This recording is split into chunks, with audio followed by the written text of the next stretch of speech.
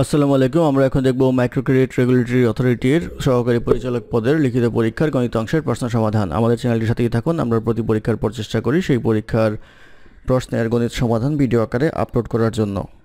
অঙ্ক শুরু হবে এ নাম্বার অঙ্ক দিয়ে। এ নাম্বার অঙ্কে ছিল a train is running at a speed of forty kilometre per hour and it crosses a post in eighteen seconds what is the length of the train এখানে বলা আছে যে একটা ট্রেন চল্লিশ কিলোমিটার পার আওয়ার বেগে একটা পোস্টকে আঠারো সেকেন্ডে অতিক্রম করে। তাহলে ট্রেনের দূরত্ব কত বা দৈর্ঘ্য কত? তো এখানে আমরা দেখব হচ্ছে আঠারো সেকেন্ডে ট্রেনটি কতটুকু দূরত্ব অতিক্রম করে। তো ট্রেনের গতিবেগ দেওয়া হচ্ছে হচ্ছে forty kilometre per hour forty kilometre per আওয়ারকে যদি আমরা মিটার পার সেকেন্ডে নেই, তাহলে ফাইভ বাই এইটিন দ্বারা গুণ করব তাহলে এটা স্পিডটা পাওয়া যাবে হচ্ছে মিটার পার সেকেন্ডে। এখন আমাদের আঠারো সেকেন্ডের হিসাব, তাহলে আঠারো দিয়ে গুণ করব, তাহলে চলে আসবে হচ্ছে দূরত্ব, কাটাকাটি করলে পাঁচ ইন্টু চল্লিশ ইকুয়াল টু আসবে হচ্ছে দুইশো মিটার, অর্থাৎ ট্রেনের দৈর্ঘ্য হবে হচ্ছে দুইশো মিটার, এটি হবে এই প্রশ্নের উত্তর। তারপর প্রশ্ন নাম্বার বি নাম্বার বিতে বলা ছিল will complete work in eighteen days if Shahin is twenty percent more efficient than Kamal in how many days he can complete the work এখানে বলা আছে কামাল একটা কাজ করতে পারে হচ্ছে আঠারো দিনে। তো আঠারো দিনে করতে পারলে শাইন হচ্ছে তার চেয়ে বিশ পার্সেন্ট মোর ইফিসিয়েন্ট ইফিসিয়েন্সির অঙ্ক করতে গেলে আপনাকে একদিনের কাজ বের করতে হবে। একদিনের কাজ হবে হচ্ছে ওয়ান বাই এইটিন পার্ট কাজ। আর যেহেতু বিশ পার্সেন্ট বেশি ইফিসিয়েন্ট তাহলে one twenty by one hundred দিয়ে গুণ করলে আমরা পাবো ক্যালকুলেশন করলে পাওয়া যাবে ওয়ান বাই ফিফটিন পার্ট অর্থাৎ শাহিন করতে পারবে হচ্ছে পনেরো ভাগের এক ভাগের কাজ একদিনে তাহলে তার সময় লাগবে হচ্ছে পনেরো দিন। এই ফিফটিন ডেজ হবে হচ্ছে এই পার্সেন্ট উত্তর। তারপর বিষয় নাম্বার সি নাম্বার সিতে বলা আছে a train travelled at an average speed of one hundred kilometre per hour stopping for three minutes after every seventy five kilometre how long did take to reach the destination six hundred kilometre from the starting point এখানে বলা আছে যে একশো kilometre per hour গতিবেগে একটা train চলছে এবং প্রতি পঁচাত্তর কিলোমিটার পর পর তিন মিনিট করে থামে। তাহলে ছয়শো কিলোমিটার যেতে কত সময় লাগবে?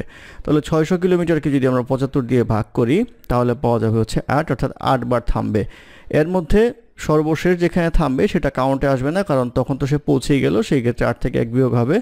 আসবে হচ্ছে সাতটা স্টেশনে এসে থামবে। তাহলে seven into three equal to আসবে হচ্ছে twenty one minute twenty one minute হচ্ছে তার বিভিন্ন জায়গায় যে সে থামে, সেটার টাইমের যোগফল। আর এখন আমরা দেখব ছয়শো কিলোমিটার যেতে একশো কিলোমিটার পার আওয়ার বেগে তার সময় লাগবে হচ্ছে ছয় ঘণ্টা। তাহলে মোট সময় লাগবে হচ্ছে ছয় ঘণ্টা একুশ মিনিট এই ছয় ঘণ্টা একুশ মিনিট হবে হচ্ছে এই প্রশ্নের উত্তর।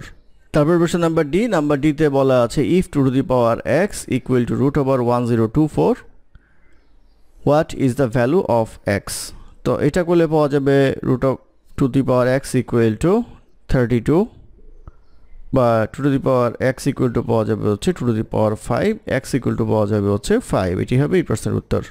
তারপর প্রশ্ন নাম্বার ই নাম্বার ইতে বলা আছে what is the smallest number by which three thousand six hundred be divided to make it a perfect cube অর্থাৎ তিন হাজার ছয়শোকে সবচেয়ে কম কোন সংখ্যা দিয়ে ভাগ করলে একটা পারফেক্ট কিউব পাওয়া যাবে? তো তিন হাজার ছয়শোকে আমরা লিখতে পারি এমনভাবে যে two into two into two into two into three into three into five into five এটা লিখতে পারি। তো এখানে দেখেন কিউ ফর্মেটে আছে হচ্ছে শুধুমাত্র টু পর্যন্ত। তাহলে বাকি থাকে হচ্ছে two into three into three into five into five equal to আসে হচ্ছে ফোর ফিফটি অর্থাৎ আপনি যদি তিন হাজার ছয়শোকে ফোর ফিফটি দ্বারা ভাগ করেন, তাহলে রেজাল্ট আসবে হচ্ছে আট। এটা হচ্ছে টু এর কিউব সেই ক্ষেত্রে আমরা বলতে পারব হচ্ছে চারশো পঞ্চাশ হবে এই প্রশ্নের উত্তর। তারপর প্রশ্ন নাম্বার এফ নাম্বার এফে বলা আছে in an examination a student scores four mark for every correct answer and loses one mark for every wrong answer if he attempts all eighty questions and scores one twenty marks how many questions does he answer correctly তো আমরা ধরে নেই x কোয়েশ্চেনের answer correct করেছিল, আর যেহেতু total eighty ছিল eighty minus এক তার ইনকারেক্ট ছিল। তাহলে আমরা বলতে পারব হচ্ছে চার করে নাম্বার যদি পায়, তাহলে টোটাল মার্কস পাবে হচ্ছে ফোর এক্স মাইনাস হবে হচ্ছে এক করে যদি নাম্বার কাটা যায় wrong অ্যান্সারে eighty minus x equal to আসবে হচ্ছে ওয়ান টোয়েন্টি বা এটা করলে পাওয়া যাবে four x minus eighty plus x equal to one twenty বা ফাইভ এক্স ইকুয়াল টু আসবে হচ্ছে টু হান্ড্রেড বা এক্স ইকুয়াল টু পাওয়া যাবে হচ্ছে two hundred by five equal to আসবে হচ্ছে ফোরটি অর্থাৎ চল্লিশটার প্রশ্নের উত্তর সে সঠিক দিয়েছিল ফোরটি হবে এই প্রশ্নের উত্তর। তারপর প্রশ্ন নাম্বার জি নাম্বার জিতে বলা আছে bank offers five percent compound interest calculated on half yearly basis customer deposits টাকা sixteen hundred each on first January and 1st July of a year. At the end of the second year, how much will he receive from the bank from his deposit? অর্থাৎ ষোলোশো টাকা করে সে রাখে interest rate হচ্ছে five percent এবং ছয় মাস পর পর ইন্টারেস্ট কাউন্ট করতে হয় তাহলে সে যেটা ফার্স্ট জানুয়ারিতে রাখবে, সেটা হচ্ছে দুই বছর পরে, অর্থাৎ টু ইয়ার হবে ডিউরেশান আর ফার্স্ট জুলাই যেটা রাখবে, সেটা হবে হচ্ছে দেড় বছরের ডিউরেশান এখন কথা হচ্ছে দুই বছরের মধ্যে ছয় মাস পর পর ইন্টারেস্ট কাউন্ট করলে কাউন্ট করতে হবে হচ্ছে চারবার, আর দেড় বছরের মধ্যে তিনবার কাউন্ট করতে হবে তাহলে।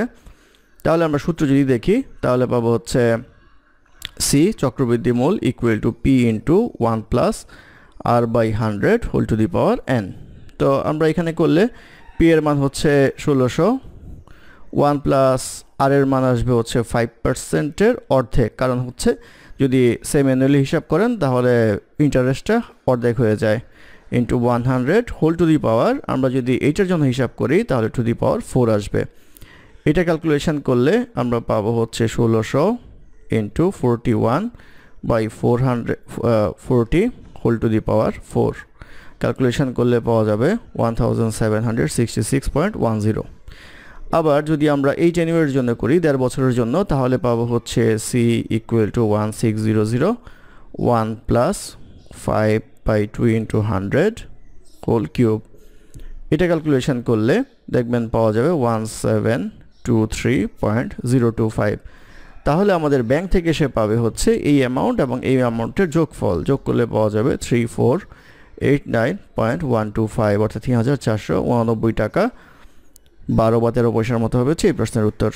তারপর প্রশ্ন নাম্বার এইচ নাম্বার এইচে বলা আছে reduction of ten percent in the price of a pen enables a trader to purchase nine more from টাকা five forty what is the reduced price of the pan তারপর ধরুন এই প্যানের price ছিল x আর টেন পার্সেন্ট রিডিউস করলে price হবে হচ্ছে পয়েন্ট নাইন এক্স তাহলে পাঁচশো চল্লিশ টাকা দিয়ে এখন পাওয়া যাবে পাঁচশো চল্লিশ divide by point nine x সংখ্যক কলম।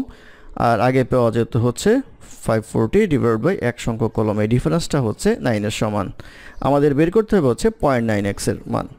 তাহলে আমরা বলতে পারব হচ্ছে পয়েন্ট নাইন এক্স এটা পাওয়া যাবে হচ্ছে পাঁচশো চল্লিশ মাইনাস এইটা আসবে হচ্ছে আমাদের চারশো ছিয়াশি ইকুয়াল টু আসবে হচ্ছে নাইন বা point nine x into nine equal to আসবে হচ্ছে চুয়ান্ন। আমাদের যেহেতু বের করতে হবে point nine x point nine x equal to fifty four by nine ছয় নং চুয়ান্ন, অর্থাৎ ছয় টাকা হবে হচ্ছে রিডিউসড প্রাইস এটি হবে এই প্রশ্নের উত্তর।